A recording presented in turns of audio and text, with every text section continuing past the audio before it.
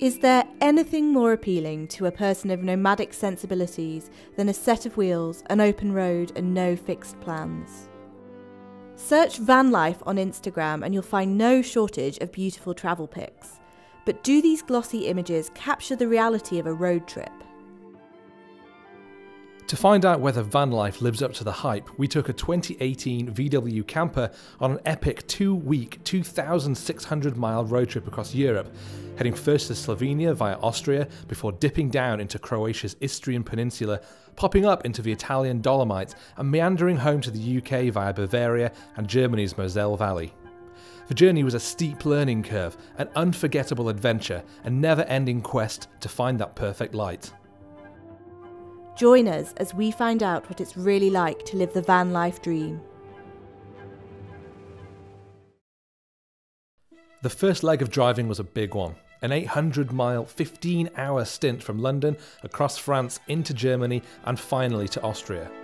Getting a huge chunk of miles out of the way at once gave us more time to spend later cruising around the areas we were most keen to see. So we've arrived at what I would say is our first stopping point of the day. Um, it's now about 10 to 12. We set off at 4 o'clock this morning. Um, so it has been a long day, but I believe here is a place for a toilet stop and, of course, to fill the kettle up with some water so we can make a coffee. Which means that I get to actually use the gas burners, which I find very, very exciting to do in a car. Um, step one actually was trying to get the thing hooked up because I couldn't really figure it out and I'm always a bit scared about using gas in case well in case it explodes and I get covered in fire uh, and all that. Um, but it has worked. We have got boiling water. I do have my AeroPress and a nice fresh bag of coffee which means I get to make lovely fresh delicious coffee in the outside in the van which I find amazing CNET mug, of course. Having arrived at our first stop in the beautiful Austrian mountains, we hit our first snag. What are you doing, Andy? I'm filling the water tank of our van, um, which is, was empty, and unfortunately we haven't been provided with the hose which would connect this tap to the van to allow us to fill it up in one easy movement. So instead, I had the, I think, genius idea of doing it about 50,000 times, filling up a bottle.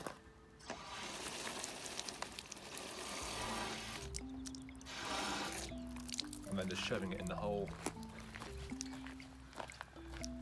How many times have you done it so far? I've totally lost count. Is there any way of telling when it's full? Probably, but I don't know how. There's probably a gauge somewhere. With our water tank full, it was time for a much needed sleep, but even that wasn't problem free. We had a good first night's sleep. Um, the only problem was that we did find it a little interrupted by the car alarm going off. Now, it turned out that we locked the car by pressing the lock button on the keys, which we thought, fair enough, that's going to lock the car. Turns out that also activates the alarm, and there are motion sensors inside. So as soon as we moved anywhere, the alarm went off very loudly at night. I don't imagine we were particularly popular, um, but it turned out there's a button on the dashboard that you need to press, which locks it but doesn't activate the alarm. Good lesson to learn. So, putting the roof down is fairly easy because if we have a look up here, see we've got the bed bit up on these rods, whatever you call these, pistons, I don't know. I'm not very technical, surprisingly, for a tech journalist. Uh, we pull the bed down here. There we go. You see the sheets is all crumpled because that's how we sleep. We make sure that these window panels are all closed. And then I move around to the driver's seat and I find the keys. I find the keys, the keys, the keys. Katie, where are the keys? I think they're back there. They're- in, where your laptop is. Here, hiding behind my camera. Okay. You do need the ignition on to do this, so we'll go. Okay. Engine on. And then up here we have this panel and it tells me roof open. I know it's open, that's why I'm closing it. Pop-up roof. Uh, close. I press and hold. As you hear. No. Bed down, yes. Blind open, no, yes. Fine. I'll carry on. And this closes in.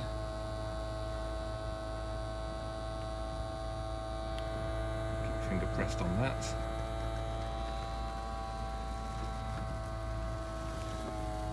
Now when it starts making a different sound, that one, you let go, and you're done. Then all we do, because obviously this still looks pretty messy, is pull this across, tuck it in, and tuck it in here. Ready all day. Cool. With the roof closed and our bodies full of bacon and coffee, we hit the road for a few hours of cruising through Austria and into Slovenia. With the mountains and rolling countryside all around us, we were pretty sure we'd already found the photographic gold. Every corner we turned and every village we passed through provided yet another stunning scene to take in. As we plunged deeper into Slovenia, the views only became more dramatic.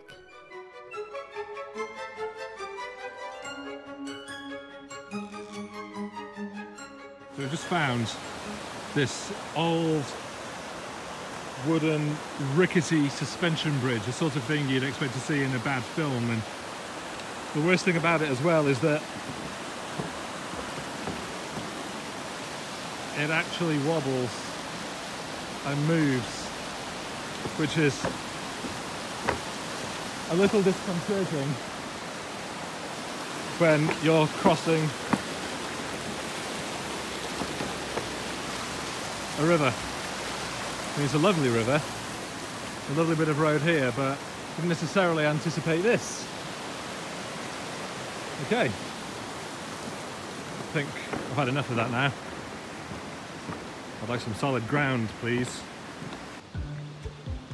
Well, we've had the second night, which means this is the second morning. That makes sense. Uh, we had no alarm troubles, thankfully, because we actually knew how to lock the van properly. As you can see, it was sort of parked in uh, this wooded bit um, of a campsite that we found in Slovenia. The great thing is how close we are to the lovely river, which, as you can see, is clear and blue. So you can't see particularly well, but trust me, it's clear and quite blue. It's a gorgeous spot, and it means that we get to listen to the river all night and wake up and make coffee, and it's great. The van's been super comfortable. As you can see, we're plugged into the electric point over there so that we can have the lights on and charge devices, and the fridge has been on. And we had the awning up sitting underneath the awning last night, which was really nice.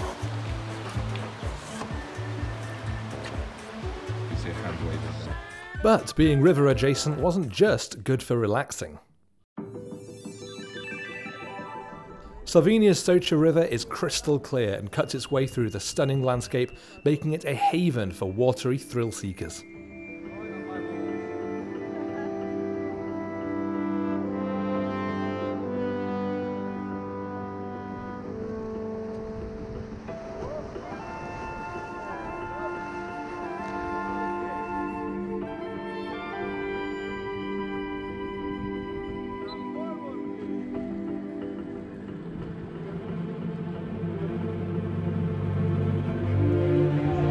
On the head, On the head. like Superman.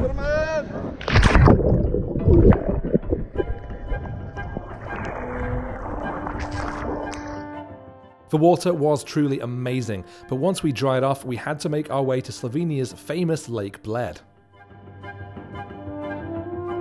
So we're at Lake Bled now, which is one of the most photographed spots in all of Slovenia. It's probably the first image that will come up if you just Google Slovenia. Um, in fact, I think this particular island with the church on it is one of the screensavers of a new Apple TV. It's just a gorgeous spot, photographed to death. The problem is that we've come here, and if we take a closer look, oh yes, completely covered in scaffolding, which does somewhat ruin the ambience. So we're shooting away anyway and trying to get some sort of cool, nice looking shots from different areas around the lake. And as you see, the light's great and we've got these beautiful clouds overhead, but it is marred somewhat by the church that looks a little gross right now. Whether or not I decide to Photoshop some of the scaffolding out later, I don't know. I might not be bothered, but it is a little disappointing. But what do we do when the odds are against us? Keep shooting anyway. No, we go home and cry. Okay. By this point, we'd realised our kitchen supplies were slightly lacking. Uh, we did pack many of the absolute essentials on this trip, such as washing up liquid, but neglected to bring any sponges because we're idiots. So instead, I'm using an antibacterial surface wipe as a sponge. Um, not entirely sure if that is healthy, but we haven't died yet, so I'm going with it's fine.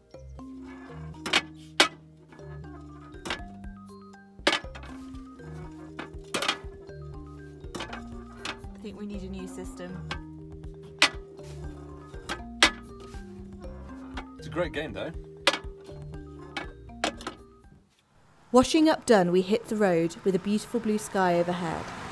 We had a lot of ground to cover across the heart of Slovenia, and as we drove further into the country, the motorways and main roads gave way to single track paths through forests, winding mountain passes, flanked by cattle, and long sweeping ribbons of tarmac that gently curved across the pretty rural landscape.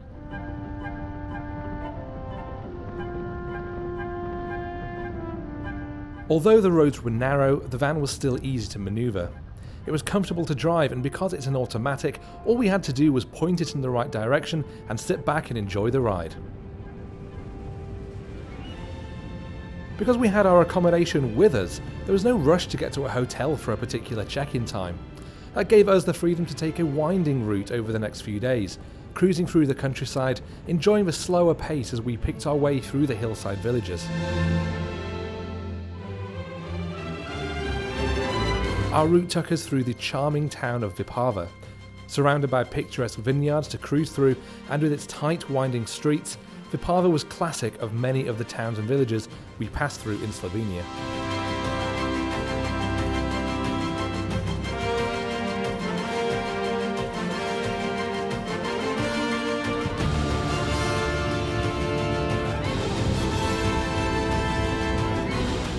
The hills were dotted with old villages, each of which provided plenty of opportunity to snag some nice photos, not to mention opportunities to stock up on farm fresh local olive oil and wine. We've arrived in Croatia now, in this small town, the name of which I forget, but it is very similar to what I know of Tuscany in Italy. Vineyards, rolling green hills, lovely old buildings. It's a gorgeous little spot to explore, and certainly this view is a shot that I really want to get.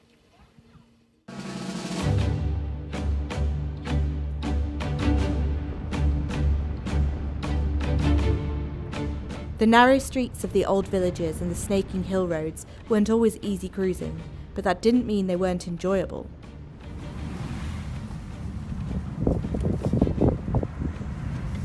These are really, really fun driving roads. These snake through the forests and over the hills. And even when we've got these really tight hairpin bends, it's still super fun. And I thought I wouldn't really like driving this because it's a big van and it weighs several tons, particularly when we've got all our gear in and the water tanks full and the fuel tanks full. But it handles really, really nicely. It's a proper sport van. And when you put your foot down, you really go.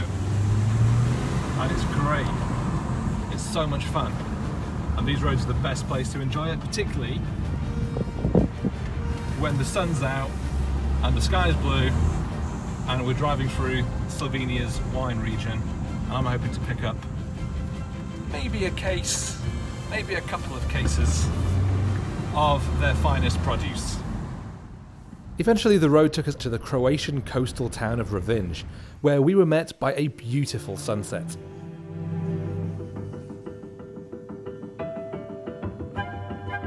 Our time in Rovinj meant relaxing. Instead of seeking out mountains to hike, we strolled, cycled, and swam along the coast, enjoyed the amazing food and wine, and even made a new friend.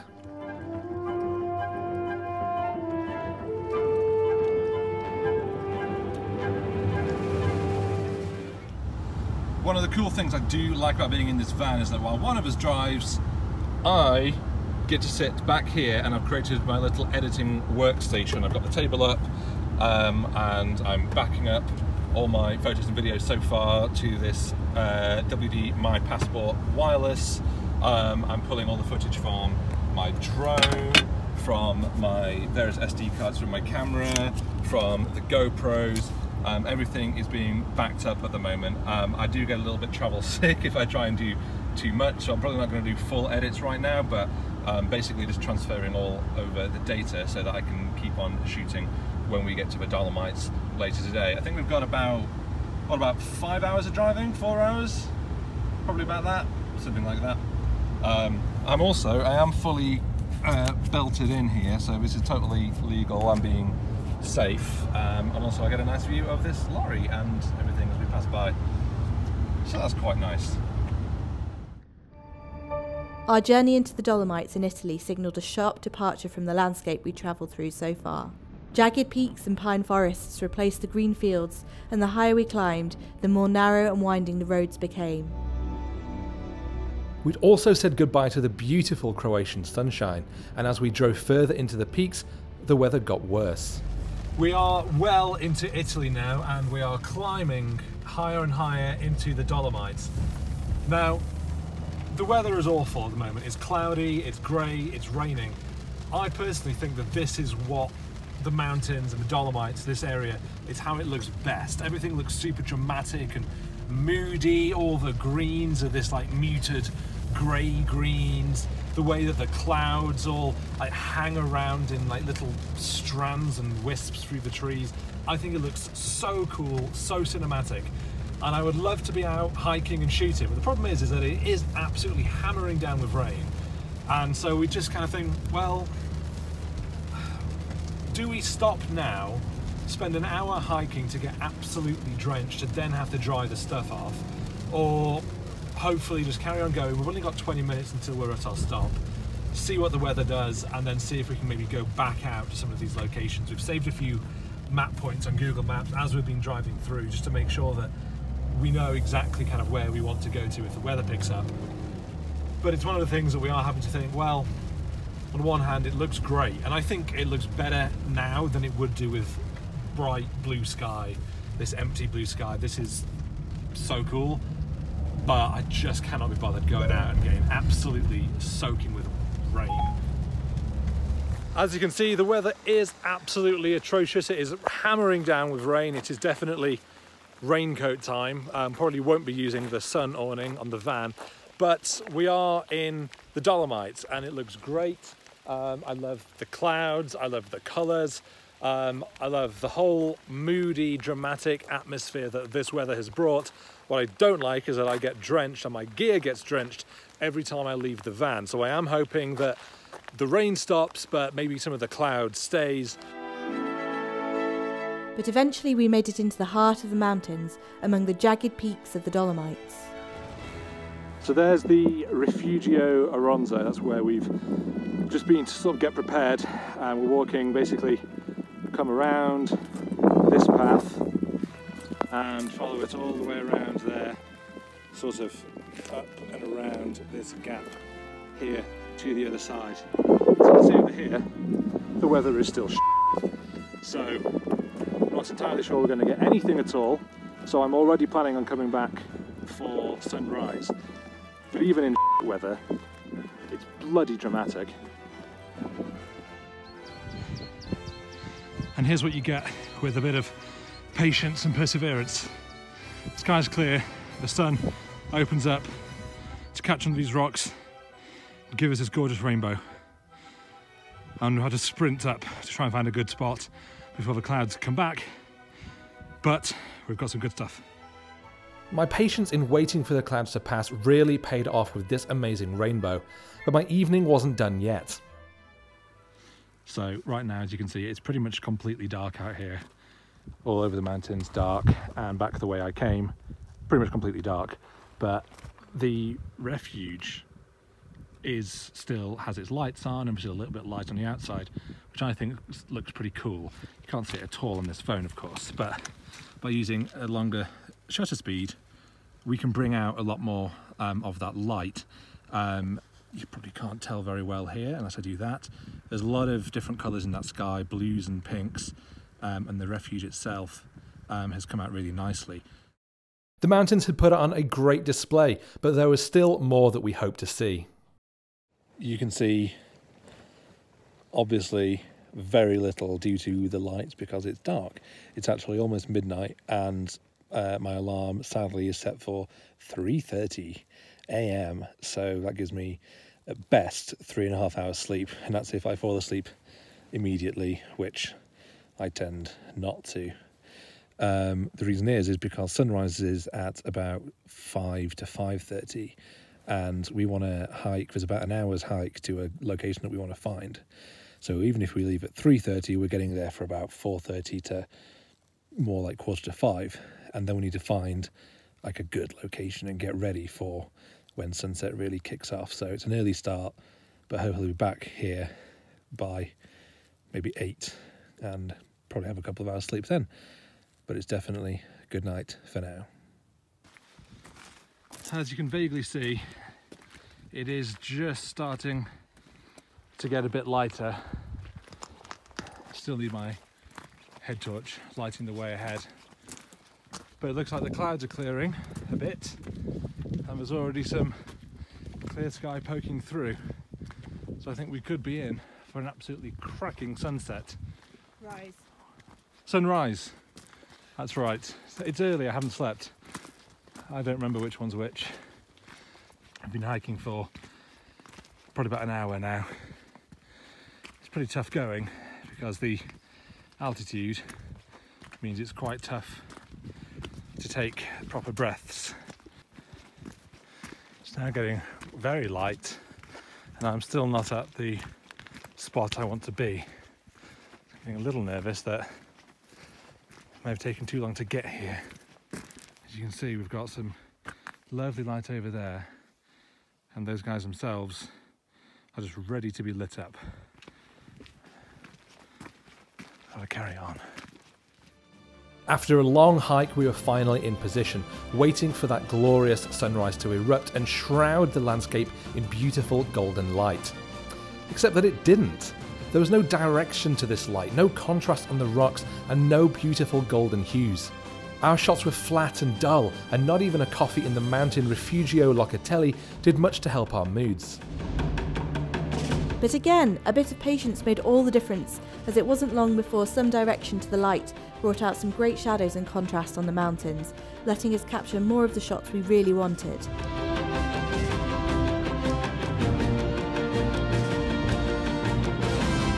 Our hike back down in the daylight was certainly easier and a lot more enjoyable, as we really could soak in what has to be some of the most dramatic scenery found on the planet, with more to be found further down. So we've come to this absolutely gorgeous lake, as you can see. Beautiful water, lovely colours, this gorgeous old boathouse here, the trees in the background, and the mountain here that's just catching the last of the evening light upon the tops there and of course some lovely blue sky above it. Now to capture this I've got my camera on the tripod, I've got a circular polarizer on the top and I'm probably going to be doing a blend of two exposures. This one um, which is as you can see rather overexposed um, with a five second exposure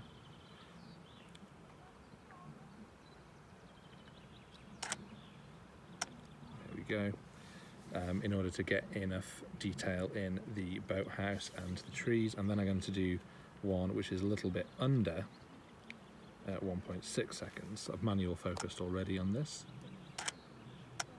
in order to make sure that we've got plenty of um, detail left in the sky uh, and the mountains and then I'll blend the two of these together um, in Lightroom or Photoshop later.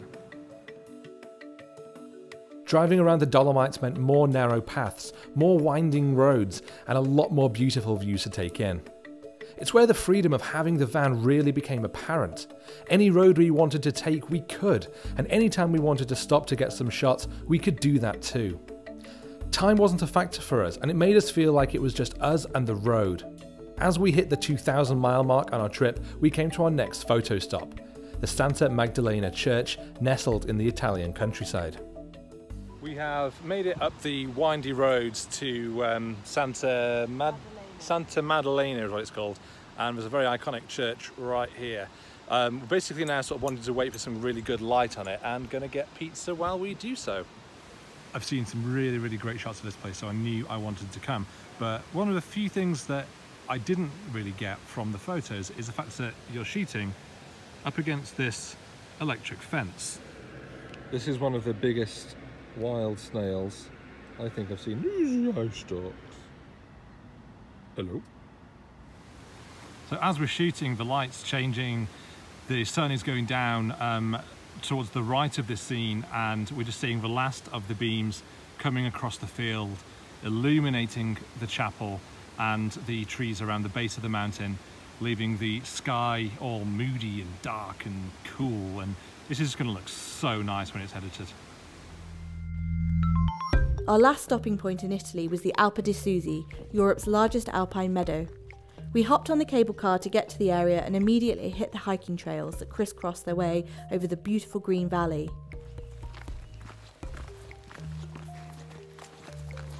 What? I'm just being normal. Normal. While the dark clouds added some cool drama to the scene, the heavy rain that followed meant it wasn't long before we returned to the van and fled across the border to the German region of Bavaria. With a full two days to make it back to London, we went fully off piste, detouring via the vertiginous vineyards of the Riesling producing Moselle Valley and past another castle worthy of a fable or two, the tall turreted, charmingly timbered Burg Eltz. It's surprisingly hot in Germany at the moment, and we're in the wine region, so I'm fairly certain that after we've done this hike up to the castle and then back to the van, I'm going to try and drink all of the wine I can find. Obviously, once we're parked up and I'm not needing to drive anymore, and also some find some big German sausages. what? There's no innuendo you can possibly find there. We'd become used to a meandering style of travel. The VW California played its part perfectly. It had been more than just a bed on wheels for us, it represented a freedom to take our holiday and our lives in whatever direction we wanted. Unencumbered by hotel check in times or bus schedules, we wound our way across Europe for almost 3,000 miles, detouring when we wanted, stopping to take in the views when we wanted. If the weather sucked, we could simply drive on to make the best of our next location. We made our way back into England on the Channel Tunnel from France, and as we drove the final roads back to London, we both agreed it was exactly that flexibility that made this trip so enjoyable. Not having to abide by anyone's time frame but our own made us masters of our own destiny, and that's a feeling we won't soon forget. And certainly, we can't wait to take our next van life adventure.